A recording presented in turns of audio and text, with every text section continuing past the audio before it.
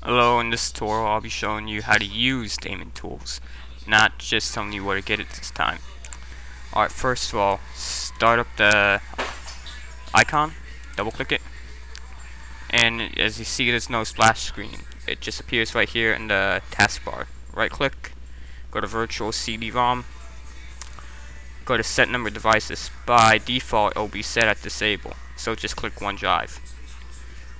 Once you have that, go to device 0, 0, go to mount image. Let me pull this screen up so you can see. I have my ISO on desktop already. So I just have to scroll through. Right here, that's the name of it, Oni. It's a game. Most games and some programs will come in ISO format.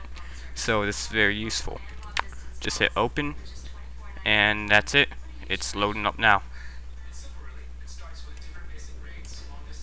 And that's all there is to it. There's no difference between booting up a CD from an ISO and putting a CD into your CD-ROM.